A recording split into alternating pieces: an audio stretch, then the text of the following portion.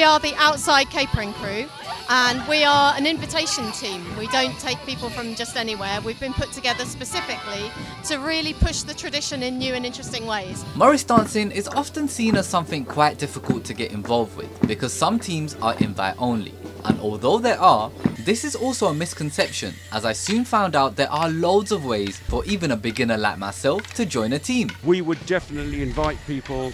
We are a male only team, but we have a sister team as well. Everybody can get involved. There's a really good function on the Morris Federation website. Use this search engine if you like, and then you can filter by what style and where you are. So there is something for everybody. We'd actually love it to broaden out and get more people involved in it and become a bit more diverse. Well, there you have it. Morris dancing is something that anyone and everyone can get involved with. And thank you so much for your time. You're very welcome. Really appreciate it. Danny, uh, you're going to leave me. No more umbrella.